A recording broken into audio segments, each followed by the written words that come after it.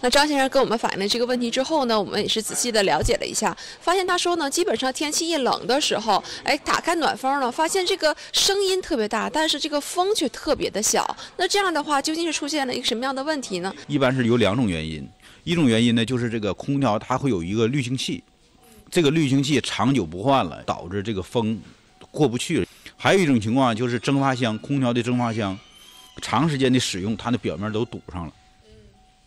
堵上之后，这个透风效率差，也会导致这种虽然听到这个风机挺声音很大，但是呢，实际吹出的风很小。但是有的观众朋友们向我们反映说呢，他遇到的情况就比较极端了。哎，这暖风打开之后呢，是干脆没有风的。那么这种情况下，究竟是车辆出现了什么样的问题呢？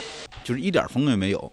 这个呢也有好几种原因，你比如说有保险丝爆了，或者风机调速器坏了，或者风机坏了。有的时候这个这个风机拿手拍了拍，风又来了。这就属于风机坏了。